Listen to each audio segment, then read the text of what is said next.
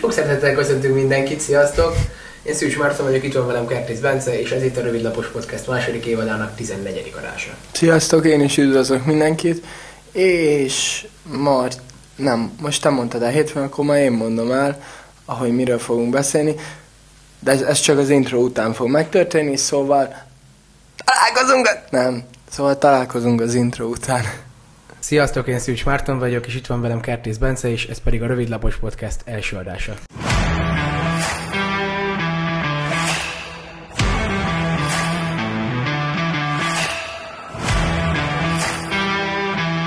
mi a negyed döntőre készülünk, teljesen mindegy, hogy ki az, aki jön, ott azt a mérkőzést meg kell nyernünk, ott nem hibázhatunk.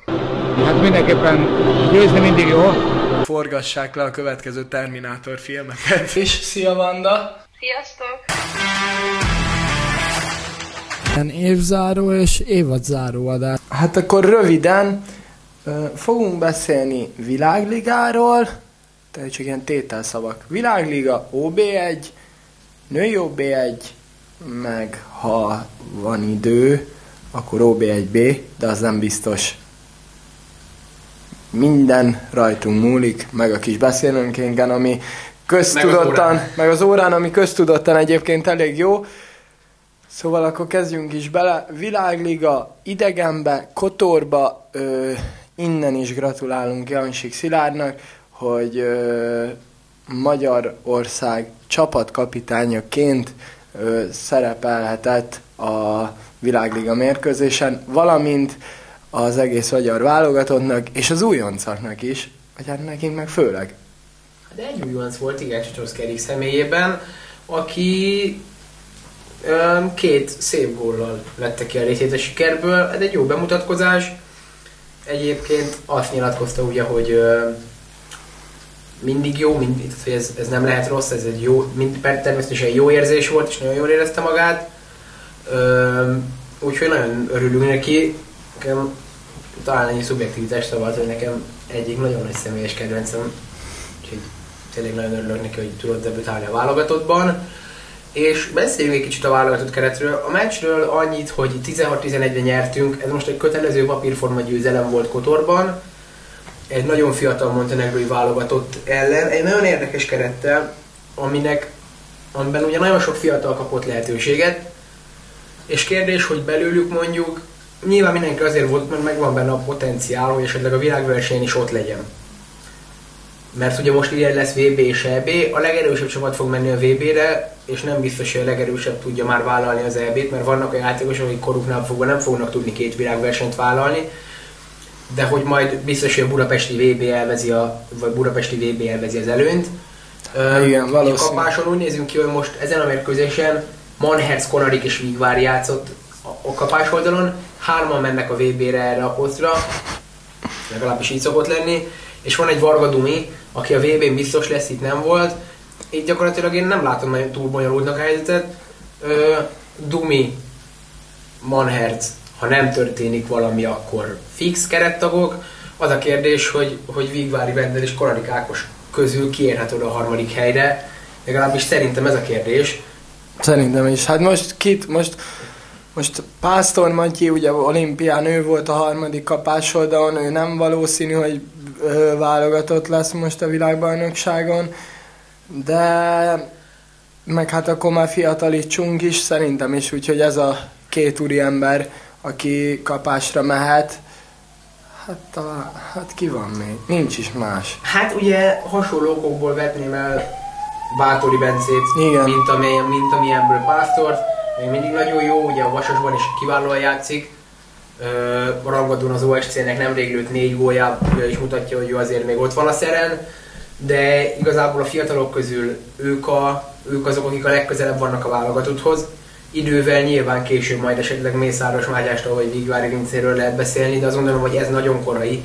Erre a válogatott szezonra én azokkal a játékosokkal számolnék az alap válogatott kereten kívül, akik, uh, akik, akik most a két, Azért kihagytad két, azt a 2004-es válogatottat. Ezért ott is vannak jó kapásoldali játékosok. vannak, de én azt gondolom, hogy erre a válogatott szezonra, erre az évre, a VB-re és EB-re még nem fognak odaérni. Hát a Darab Varga Vince se. Végvári, nem? Vargát mondtál. Én a Végvári Vincét mondtam. A Végvári Vince Mészáros Mátyás dóról Ja, beszéltem. én Varga Vincét Ö, hallottam. hát, hát Varga Ma az még nagyon, nagyon arrébb generáció. Azért, azért, azért évek vannak, igen, tehát a 2004-es csapat egy egyébként nagyon jó korosztály. Azért lepődtem meg, de azért ők, de mondom ők, csak. ők még a felnőtt válogatottnál nem lesznek ott. Hát nyilván nem, csak azért mondtam, mert ugye azt hittem, hogy És 2005-ös egyébként Ebből mondtál. a köztes korosztályból, vagy hát még nem túl fiatal, de nem túl rutinos, tehát mondjuk 20 és 28 év között ö, nincsenek olyanok, akik a válogatott közelében vannak, úgyhogy ez a kapás oldala szerintem Hát, annyira nem bonyolult. Szerintem az egyetlen kérdés az lesz, hogy végül a Konarik vagy a Vígvári. A Vendelnek jobb szezonja van, tavaly az olimpiai felkészülésen a Konarik volt ott, a Vendel azon nem volt ott. Úgyhogy én nagyon-nagyon kíváncsi leszek de valamelyikük szerintem le fogja játszani az első világversenyét még- még a világbajnokságon, és nem tartom kizártnak, hogy a másikuk esetleg mindketten ott legyenek az EB-n. De azért a kerethirdetéstől nagyon messze vagyunk. Hát igen. Öm, centerben most két olyan játékos volt bent, ugye német Toni volt és Bedő volt a keretben, a mezei öm, kimaradó lett végül, szerintem egyébként ő mindkét centernél jobb, és előrébb is van, mert hát meg más ugye listáján. ő balkezes. Ő balkezes center, de most egyébként biztos, hogy az volt, hogy a keret mélyítése szempontjából kellett a nemzetközi meccset Igen, hát... adni egy német Toninak, meg egy bedőnek. én Mm, egyébként ezen nem lepődnénk meg, hogyha ez lenne az EB center páros, és a Pufi mezei lenne a, a a VB. szerintem a mezei bírni fog a világbajnokság mellett Európa bajnokság. Hát igen, az lehet, hogy ő bírni fog, csak hogy, hogy oda is adják-e neki, az a Szerintem kérdés. igen. Szerintem igen. Szerintem a mezei áll annyi, annyival a, a többi center fölött. Na, ki fölött? Te melyiküket hagynád ki? Bedő? Hát nem mennék most be. Nem? Jó. Nem. Én, én, Hát, én legyen. nem nem túl magam, hogy itt, mert azok mondom, hogy válogatott keretek hirdetni nem kell. Egyszerűen csak számba veszünk, hogy igazoló játékosok, akik ott vannak a környékén, és ki az, akiktől azt lehet várni, vagy akik, akiknek majd valószínűleg a Margit szigeten, Szegeden, Debrecenben, Sopronban, akárhol a himnusz fog szólni ezen a világbajnokságon, mert azért azt gondolom, hogy az van most hozzá közelebb, június 18-án kezdődik, hát addig is még bő három hónap van vissza, Apropó Szeged, az előző, előző adásban, hétfői adásban nem emlékszem, hogy elmondtam volna. nem szerintem- mondtuk el, Nem mondtuk el. változás történt. Ahhoz, szerintem a tervhez képest is, de ahhoz képest, hogy mi értelmeztük. Ahhoz képest így. mindenképpen. Ö, És imái meghallgatásra találtam, mondhatjuk ezt. igen. Ö, ugye mi azt mondtuk, hogy mi szomorúak lennénk, hogyha a, hát én azt mondtam, hogy De én nagyon nagyon szomorú lennék, hogy, Nem. hogy ne legyen Szegeden a, az 1-től 8-ig a helyosztó, de ugye akkor még úgy volt. Azóta viszont jött ki egy újabb közlemény, amiben pedig már az van, hogy Szeged lesz a 9, tehát hogy megcserélik a hajóst és a Szegedet, hogy a Szeged lesz a 9-től 16, és a hajós lesz az legjobb 1-től megoldás. 8. Ez a Szerintem is. megoldás, mert a szegedi létesítmény, én ezt az előző adásban is elmondtam, hogy milyen jó, milyen profi. Ezért Igen. azt gondolom, hogy világbajnokság kieséses szakaszának rendezésére érett. Egyébként. A előröntő döntő megrendezésére is érett. Érett, csak, Csak azt gondolom, ugye van egy hajós van Alfred uszodánk. És, és, így azt gondolom, hogy jutott is, maradt is. Tehát tényleg a, a keske is jól lakott, és a káposzta is megmaradt. Tehát, hogy a hajósból nem, nem, nem mozdították el végül azt, amit szerintem onnan ö, Ami oda illik, ami, ami meg ami oda való. odaillik. Ö, hát ugye beszéltünk erről, hogy új, újítás. Igen. már a Duna Arena rendezte a 20-as EB-t, az se a hajósban volt. Hát, a mert télen 17-es volt. Végül a, igen, ez igaz. A 17-es VB-nél is úgy volt, hogy nem a hajós fogja, és elvileg csak a hely meg, meg egyeztetési problémák Jó, merültek azért föl. már több ember befér, de most ennyi. Hát igen, de hogy úgy tűnik, hogy a hajósnak még egy világbajnokság rendezésének a vége, Nagyon helyes, a nagyon nagyobb- helyes. A, a fontos meccseket ott fogják játszani. Én úgy érzem, hogy ez nagyon helyes, meg ez így rendben van. Én is egyetértek vele abszolút, Az szuper. Ö, csak én egy kicsit könnyebben elbírtam volna fogadni a másik felállást, mint te. Ennyi. Hát igen, az lehet. De igazából nekem is, én is kénytelen lettem volna elfogadni, de térjünk vissza, mert így is nagyon ö, rohannunk kell a témákba, és ö, Van egy olyan érzésem, hogy ebb, hogyha ebben most tovább mennénk, akkor egy fél óra után térnénk csak vissza az tudnánk OB1-re, de szerintem a válogatottas témánkkal is meg vagyunk. Ugye? Bennem még vannak kérdések. Rossz kéz? A rossz kézen vannak kérdések, mert azt gondolom, hogy egyik balkezest sem fogjuk a világbajnokságon látni. Szerintem se. Abból a kettőből, amelyik ott volt. Másik hát kettő azért- lesz ott. Én arra leszek kíváncsi, hogy ki lesz ott mellettük harmadiknak. Most a Csacsovszki megkapta a lehetőséget, egyébként ő megkapta volna januárban is valószínűleg, csak covidos volt. Szerintem a Zerik majd az EB-n. Szerintem az EB-re befutó lehet, és a mindenes, mert egyébként ö, mindenest játszott ta, az elmúlt két szezonban is a válogatottban, Hát meg a, Sőt, az OSC-be az, is. Az OSC-ben is, most már ugye a Vasasban, Erdély Balázs, én azt gondolom, hogy ő lesz a harmadik, tehát az a, az a, az a hármas, amit az olimpián láttunk, az még nem fog megbomlani, és Erdély Balázs azért rutinos játékos, de nem öreg játékos még mindig.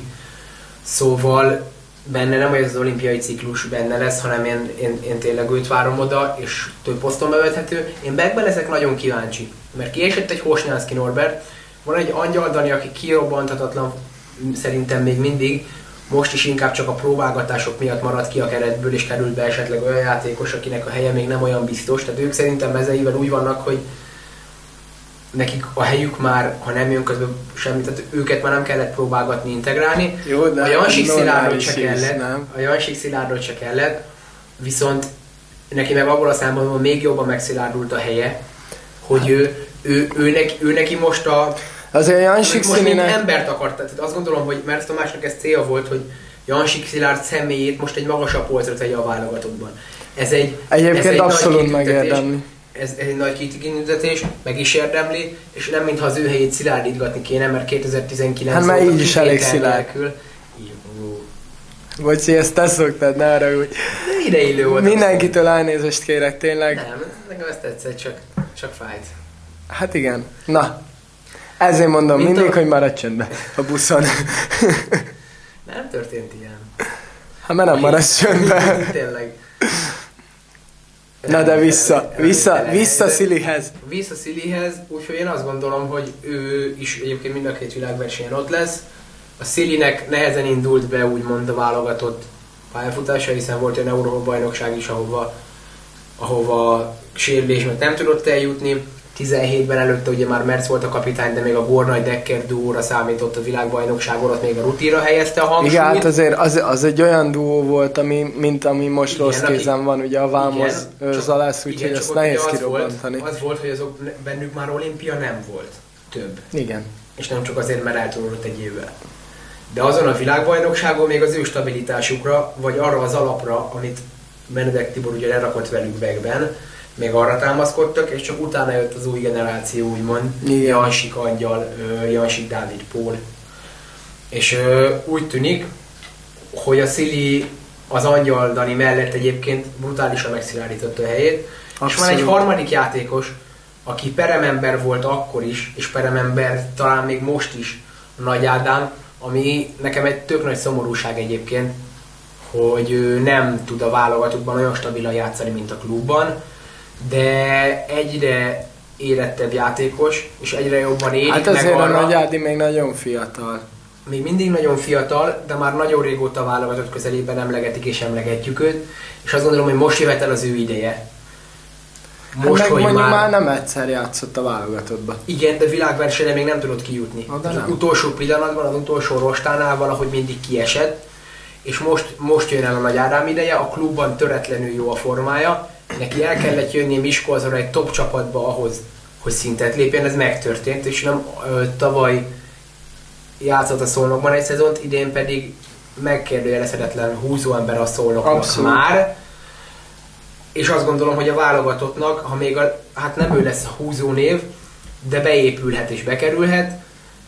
Ö, vannak olyan fiatal bekkek, vagy fiatal back típusú játékosok, akiket én még nagyon várok a válogatottba, de ebben a szezonban valószínűleg még nem fognak odaérni, nekik kell még egy év. Tehát a Molnár elég Fekete Gergő Gondoltam. például kell még egy év, Hát, és utána, és utána ők is talán kettő.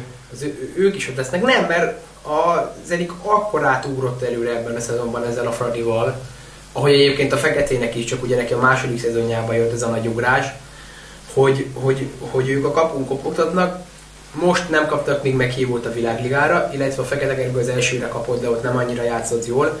Az Erik egyáltalán nem kapott. Én ebből azt gondolom, hogy ebben a szezonban ők nem lesznek a keret közelében. Még. Na.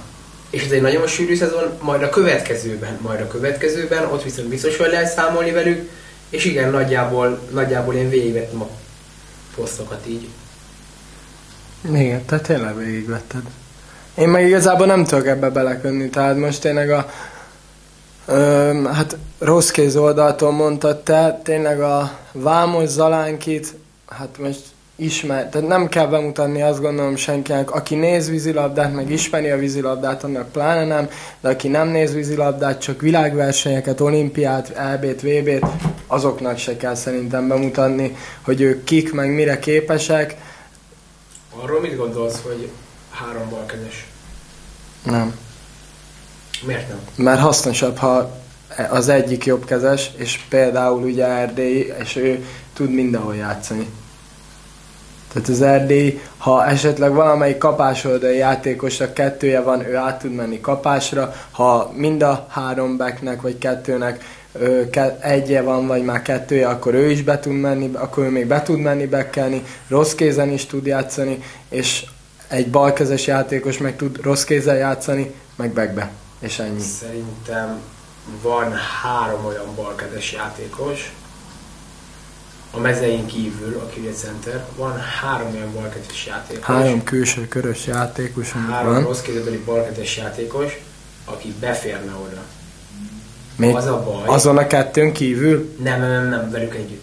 Tehát akkor gondolsz te most a Vámos Marcira, az Alánki Gergőre, akiknek egyébként nagyon tiszta szívből gratulálunk ugye kisfiunk megs- megszületéséhez, ha jól tudjuk, minden rendben volt, és Zalánki Gergő otthon van, pihenőt kapott most a, ö, az edzőjétől. Hát mire az adás kimi addigra, Addigra már, lesz. addigra már négy napja otthon van. Nem, hát igen, mert ö, ugye Hét- az olasz kupa igen. miatt úgy szólt a megegyezés, hogy az olasz kupa után mehet Igen, haza. úgyhogy most a héten már A otthon van. felesége pedig hazajött, és ugye itthon született meg Zéno, akinek természetesen a, ö, gratulálunk és jó egészséget kívánunk. Igen, és a harmadik ember pedig, mondom, te Burjára gondolsz. Burjára gondolok, én azt gondolom, hogy a Burján Gergő nek nagyon rossz, hogy a Zaláki meg a Vámos ilyen jó. Mert egyébként beférne, de én is azt gondolom, hogy a mai vízilabda, rosszkor született. a mai vízilabda meg már nem fogja elbírni azt, hogy legyen három balkedesed. Nem, Mert a szer- 2000-es szerintem évek nem. elején még ott elbírta, most már az a baj, hogy tényleg jobb, ha ott egy jobbkezes játékos van. Szerintem jobb, szerintem az, Er- szerintem az Erdély jobban játszik. Még így is, hogy jobbkezes, mint a Burján. Szerintem nem, de a három balkedes nem fog megférni. Hát most, most figyelj, támadásba úgyse használsz egyszerre három balkezest. Max, Nem, de max egyszer- forba, egy- max egyszer- forba, nem, de az nem, egyik centeren meg már nem, úgyis hát balkezes. a három rossz kezeladali pozícióra vinném a három balkezest, amiben mindig csak kettő van be. Hát igen. Hát ha megnézed olyan gyakran, bár volt, hogy elővette az ellenfelek az zavarására kemény Dénes, de ott sem volt, hogy a Madaras, Kis Gergely, Benedek, Hármas, vagy esetleg valamelyikük helyett Kis Csaba ment ki, mert olyan is volt. Tehát ő szerette, szerezte ezt a három balkezest, és volt Más volt még nagyon a voltak is olyan balkezesei. Én tényleg azt mondom, hogy azt sajnálom, hogy lenne olyan balkezes, Burján Gergőre gondolok, akinek lenne helye a másik kettő mellett is, de ezt most már nem tud megcsinálni, hogy Az a, meg, de lehet, hogy a másik kettő mellett lenne, de a másik kettő közül valamelyik helyett, Nem, meg nem. már nem biztos, hogy van. Az biztos, hogy nem. Tudod, a Vámos Zalánkinál ö, nem, biztos, hogy nem. Tehát ez, ez a baj. Hát nem baj, ez a helyzet. Hát Burján szemszögből nézve ez a baj. Hát igen, és azért állnak ott, hogy Burján, Vadovics, Gyárfás, ö, Csapó csak mondjuk ő már kicsit kifelébb van a sportból. Ne, hát neki most, most elindítani a válogatott karriert, felnőtt válogató karriert már késő, tehát ő már nem Hmm. érne be annyira. Igen, ö, menjünk is át Egerbe, mert úgy tűnik, hogy ki van a gödörből. Így van. Ö, hát Biros Peti ö, ö, szótlanul hozott változást, azt kell, hogy mondjam. Ö, tényleg, tehát megverték a Kaposvárt otthon, tévés meccsen megverték a Pécset idegenbe. Ö, Kiestek a Komjári kupából.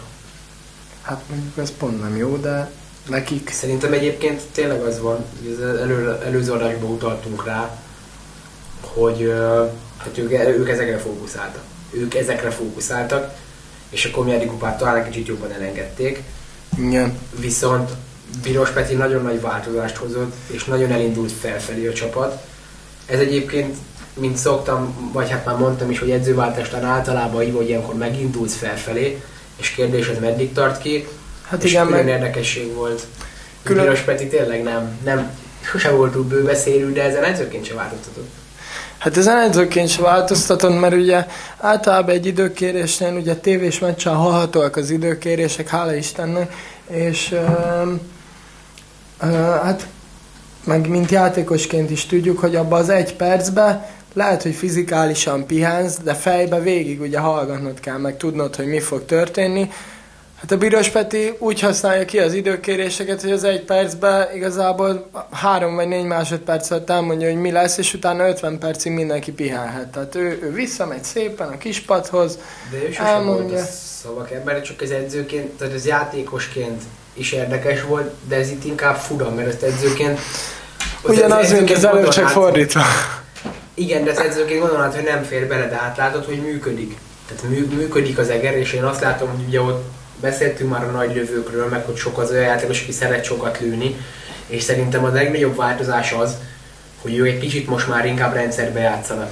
És ugyanúgy ellőnek mondjuk összesen hárman, négyen, akik szoktak, ugye Lőrinc Bálint, Magyar Marci, Baksa Bené, Kovács Gábor, tehát ugyanúgy meglövik ugyanazokat a mennyiségeket kapura, ugye Murisic centerben, de hogy ez most már sokkal Nagyon jobban, durva. sokkal, sokkal jobban át van látva, és sokkal jobban át van gondolva, és nem olyan szertelen lövöldözés, mint amilyen esetleg eddig volt, és a védekezést is rendbe rakták. Mert addig az volt, hogy lőttek rengeteg gólt, de azért kaptak mellé viszonylag sokat.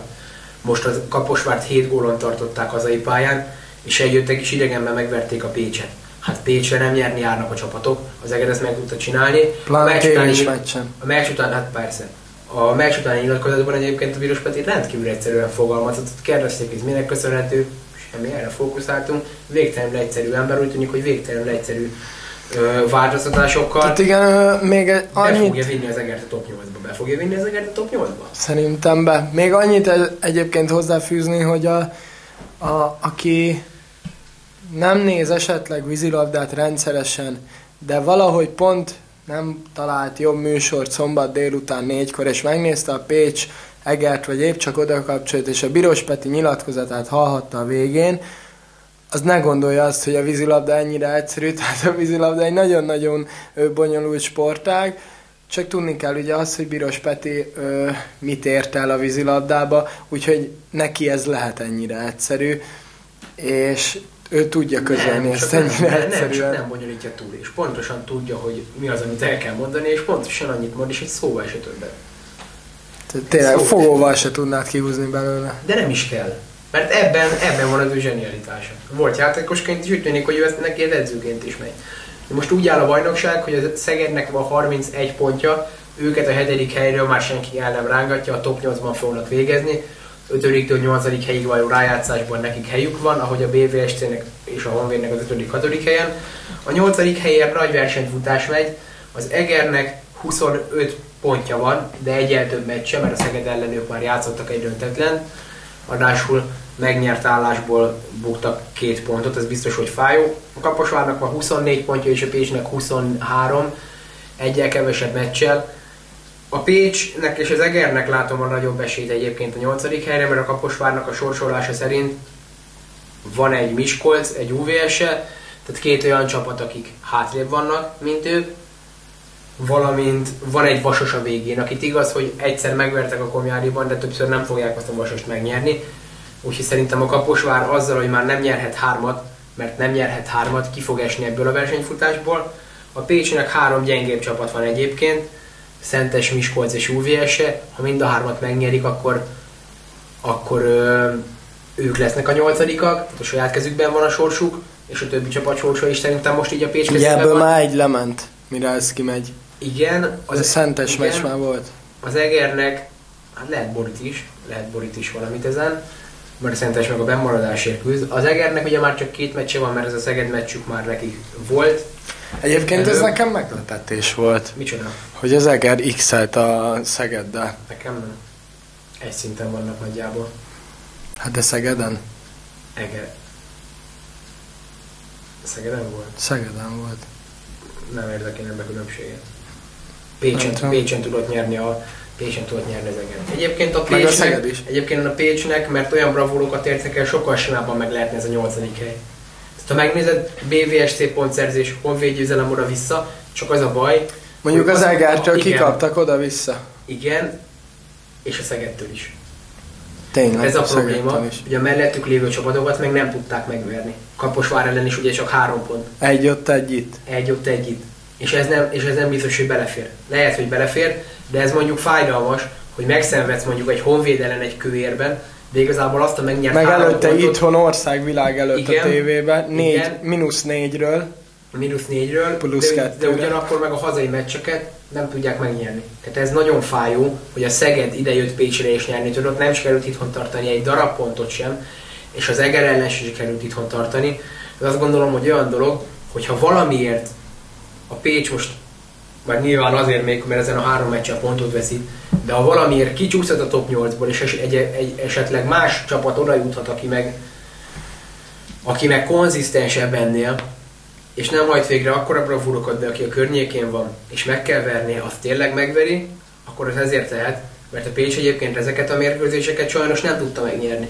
Azért, Hát azért én azt gondolom, hogy, hogy akárhogy is, hogy, hogy megverik a, a nagyobb csapatokat a körülöttük lévőkötől, meg azért kikapnak, vagy x vagy, vagy nyernek, azért ezt a következő három meccset ezt be kell húzni. Igen. Tehát ez kérdés nélkül, szerintem. Hát, hogyha meg, behúzzak mind a hármat, Tehát akkor, a, akkor, akkor, akkor megérdemlik a nyolcadik helyet. Ha nem, akkor azt gondolom, hogy akkor tényleg oda fog kerülni más csapat, aki úgy tűnik, hogy konzisztensebb. És úgy tűnik, hogy ez rá a gyengébb csapatok ellen nem kérdés, és nem hibázik, vagy nem annyit hibázik, mert nyilván benne van. De, de azt gondolom, hogy ezt a Pécs, ezt a top 8-as helyet inkább tudja elveszíteni. igen, hát de a elveszíteni lehetőség, a igen. lehetőség ennek ellenére ott van, hiszen ugye most az Egerszeged döntetlen és inkább kedvező. De Hát a, ez, ez az előző fordulókban ez 9 pont volt, nem? A bajnokság elején. Szentes itthon, az megvolt. Igen, Az UVS -e idegenben az, X volt. az X lett. Pont volt. Ja, igen, az X volt. De az ja, azt le is nyilatkozták, hogy ők nem tudnak Pesten nyerni, csak X-elni. Hát de a Komjádiba sikerült. Komjádiba sikerült, igen. De hát az Egernek is mi van vissza. Meg hát a? Miskolc is itt, az Egernek itt is, ugye az Egernek is. Szentes Miskolc van vissza. Tehát igazából a Kaposvár a legrosszabb helyzetben, mert top 4-es vagy top csapattal már se a Pécs, se az Eger nem játszik. A Kaposvárnak még van egy mosos Hát, hát meccse. igen. Tehát igazából a Pécs kezében van a 8. hely sorsa, és ugye akkor a másik két csapat pedig potyan ki a 9-12. helyért, vagy hát oda. Öm, Hát egyébként a pécsi fiúkat ismerve, hát most figyelj, a pécsi fiúkat tudom, meg ismerem, meg látom őket edzeni, meg látom őket meccseiken, meccseiken, meg közvetítjük ugye a meccseiket. Hát ők nem olyanok, hogy, hogy lelkesedésből hiány lenne. De Egyik őjük se. Úgyhogy egyértelműen nincsen. Az a kérdés, hogy sikerül-e. Mert ez három kötelező Hát győzelem, igen. de mégsem olyan könnyű kötelező Szerintem győzelmek. igen. Szerintem Mégsem igen. olyan könnyű. Elmenni Miskolcra, Miskolcon idegenbe, nem lesz olyan egyszerű. Miskolcon A idegenben? Szentes, Szentes ellen idegenbe, az ellen a Szentes ellen, aki biztos, hogy extrán veszélyes, Egyébként mert az életéért küzd. Az a csapat, aki bemaradásért az életéért küzd, az veszélyesebb még annál is, aki a bajnoki címért küzd. Mert a Szentesnek a jövője forog kockán. A jövője forog kockán. Hát nyilván, de egyébként szerintem És láttunk már ilyet. Ugye csapat Pécsi részről szerintem egyébként most lehet, hogy hülyeséget fogok mondani, vagy hülyeségnek fog hangzani, de körülbelül ugye hiány, vagy lelkesedésből ugye nem lesz hiány, és, és a lelkesedés után, Kaposvárosi. jó, nyilván, de a lelkesedés után szerintem a Pécs három meccsét, tehát most konkrétan a Pécsről beszélek, azt az fogja befolyásolni, hogy, hogy a, a, Józsa ott, a Józsa hogy fog védeni. Tehát a, a, a Józsa nagyon-nagyon meghatározó a pécsi, a pécsi csapatban, tényleg. Mert hogyha ő nagyon-nagyon jól véd, akkor mindig szárnyal a csapat, de tényleg minden meccsen. Hát jó, hát nyilvánvalóan. De tényleg. Egyébként a papír szerint a Pécs a legesélyesebb most arra, hogy behúzza. Igen. És innen ezt már csak ők tudják elveszteni. Mert a másik három csapatból meg a Miskolcnak már semmi tétje nincsen, az UVS-nek még semmi tétje nincsen, mert ők akkor is ott fejezik be. A Szentes még küzd az életéért, és ezt a meccset ugye majd lejátszák, mire ez az adás kimegy. Kíváncsi leszek. Hát, hogyha a Szentes Megvan. akkor szerintem a másik kettő is megvan. Mert ebből a három meccsből szerintem a Szentes Az idegenben a legnehezebb. Az UVS egy fiatal csapat, amely nem fogja odaadni magát. Hát nem fogja odaadni magát, de épp azért, mert fiatal szerintem. Elfáradnak. Aha, már, hát már az már nagyon a vége lesz. Hát ez az utolsó meccs, Igen. nem? Az, alap, vagy az alapszakasz utolsó Pécsen, meccse. Meglátjuk. Ö, szerintem az OB1-nek a középházát azt most ki is veséztük, és ugorjunk tovább, mert az idő is szalad. Egy Dunaújváros BVSC meccs van, igazából nem is a Dunaújváros BVSC-ről fogunk beszélni, hanem a Dunaújvárosról. Csak ezt a nem túl régi rangadót 13-12-re nyerték, szoros győzelem, és nagyon sok érdekesség van, például az, hogy 9 per 7-et lőttek forgón, ami kiváló támadó játékra van, és a Dunói-városnak a támadó játékával egész évben semmi probléma nincsen. Semmi. Talán a Magyar Kuba döntő volt az egyetlen, Hát igen, de ahol a támadások nem nagyon működtek.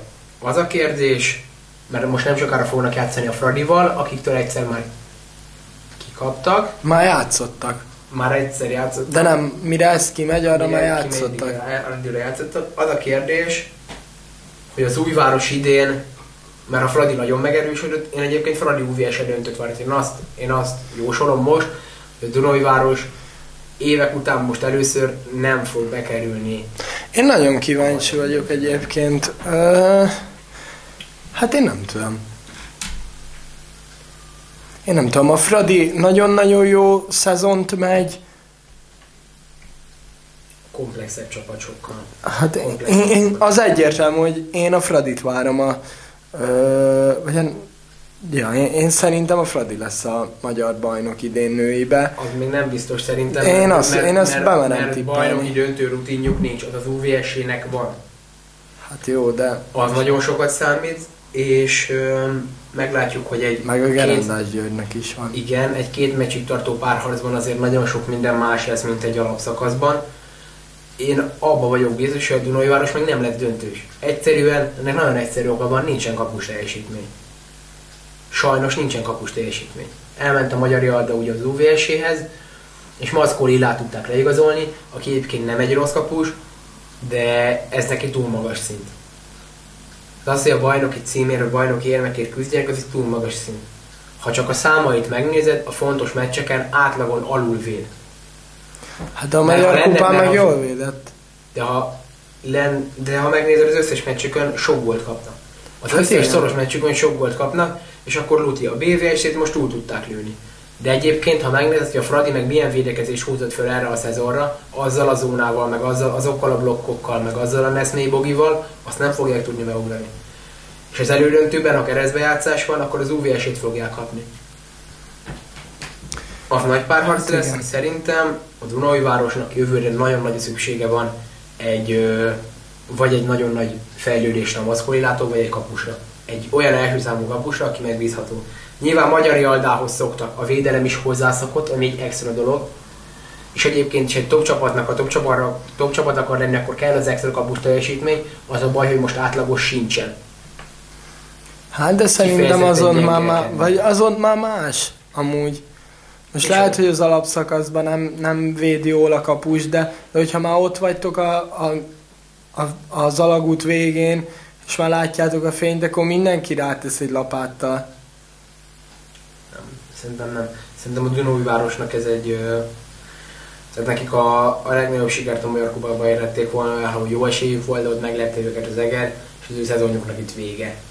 Sikerek szempontjából. Tehát szerintem most ki fognak szorulni a bajnoki döntőből, és ö, új kapus után kell nézni, mert, mert, mert nem jók.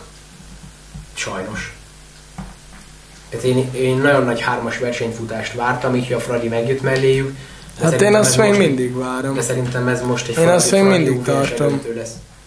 Én ezt még mindig tartom. Szerintem a Dunói város, Dunói város ebben a szezonban most nem nincs ott. Nem tudom. Rövidebb Én- is, én azt gondolom, hogy a kispadja is rövidebb egyébként a másik két csapatnál. Rövidebb. Az biztos, hogy rövidebb. és ezáltal egyébként hosszabb távon fáradtság miatt nehezebb is jó teljesítmény nyújtani, és kapuan pedig ö, sajnos hiányosságok vannak.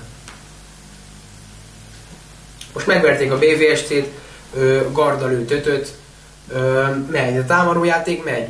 Garda, Szilágyi, Gurisatti, Horváth Digi, Zsuzsi centerben megvannak, támadásban megvannak. Akár a védelemmel sincsen nagy probléma. A De- kapus teljesítmény hiányzik, és kapus teljesítmény közül hogy kezdődik, hogy akarsz bajnokságot? De nyerni? Mi az első, emlékszel, mi mi az első dolog? Védj egy jó kapust. Meg egy Ez- center. Nem, vé, mi a legelső? Igen. Védj egy jó kapust. Na, ezt a Dunói város a riválisaihoz, a riválisaival ellentétben nem tudta megcsinálni. A BVSC meg tudta csinálni. Még a BVSC is, ott a Kakas Kriszta. Hát jó, most a Ferencvárosban is. De azt gondolom, hogy ők sajnos ez nekik egy visszalépés. De az, hogy a Magyari Alda elment az alapból egy nagy érvágás, nyilván nagyon nehéz őt pótolni, és Mackó Lilla vállán is nagyon nagy volt a teher, de úgy tűnik, hogy ő erre a feladatra még nem érett meg, hogy egy ekkora csapatnak a kapuját védje, ilyen fontos célokért. Hát de figyelj, emlékezz vissza, hogy mint mondtunk a Magyar Kupára. Tehát ott is azt mondtuk mind a ketten, hogy egyetlen dolog fogja befolyásolni azt, hogy megverik az UVS-t az meccs, elődöntőbe. meccs. Hány, hány meccses az elődöntő, nem egy meccs. Bajnokságról beszélünk, alapszakasz. Hát de akkor is. 18 meccs, ott se, nem. Egy meccsen el tudták kapni. Egy meccsen az elődöntőben is elkaphatják az ovs Hát és az is egy meccs. Hát igen, de a másik kettőt meg mennyire az ovs Hát nem tudhatod. Valószínű. Hát majd kiderül. Hát kíváncsi leszek egyébként. És szerint, szerinted te, Hát figyelj, én még, én még mindig benne, én még mindig látom ezt a hármast. Tehát ez a Fradi UVS Dunaújváros, én ezt még mindig látom. Tehát a múlt, meg még igazából a BVSC is benne van, mert a múltkor a Fradi 9-8 nyert a BVSC ellen, csak most éppen hogy. góllal kaptak csak az új várossal, csak szerintem ott mivel az alapszakasz elsőt fogják megkapni, aki vagy a Fradi lesz, vagy az UVS -e, szerintem a kettőjüket közös meccsén dől el, az mindenképpen meg fogja őket verni. Nem tudom, hogy mennyire negatív folyat van a fejekben, hogy a Petrovics Matyi év végén elmegy, vagy mennyire motiváció, hogy Szerintem meg a inkább Matyit is, motiváció. és egy utolsó hangos dal, ahogy Ákos énekli. Öm, nem tudom. Szerintem a BVSC ez a top 3 az már annyira nincsen közel. Az Eger, akiről beszéltünk, hogy akár megelőzheti őket, ö, most Szeged ellen is pontot vesztett, tehát én olyasmit vélek bennük felfedezni, mint a férfi BVSC vagy a Honvéd. Tehát olyanra mégsem. A kiesés ellen egyébként ott nagy csata lesz, a Győr és a Tatabánya között. Az biztos, hogy nagy csata lesz, mert most A ugye Tatabánya nyert. Tatabánya nyert a harmadik kerület ellen, a Győr pontot szerzett a Szegeden. Úgyhogy ez Ez nem számít, mert lesz. igazából ők voltak az utolsó két hogy Tatabányát megverték, ugye, oda, vagy egyszer egyik, egyszer a másik. Úgyhogy az, az egy jó csata. Ez egy jó csata lesz például a kiesés elkerülése ellen. A bajnoki címé is jó csata lesz, azt gondolom, hogy a Dunói város nem nyerhet így bajnokságot. Hát nem tudom. Hát majd kiderül. vagy tényleg olyan extra kell támadásban, az összes erődöntőn és a döntő meccsein is, olyan extra kell támadásban, meg védekezésben, hogy annyi blokk kell, hogy a kapusig ne jusson el a labda. Tehát egy jó, És- jó védekezés. És hát a kapusig ne jusson el a labda, hát ugye ezt kétféleképpen lehet megoldani, vagy úgy, hogy úgy védekezünk, hogy blokkolunk, vagy úgy, hogy addig védekezünk, amíg le nem jár az idő. Hát most, most a mi időnk lejárt. Most a mi időnk lejárt, úgyhogy nagyon szépen szeretnénk nektek megköszönni a figyelmet.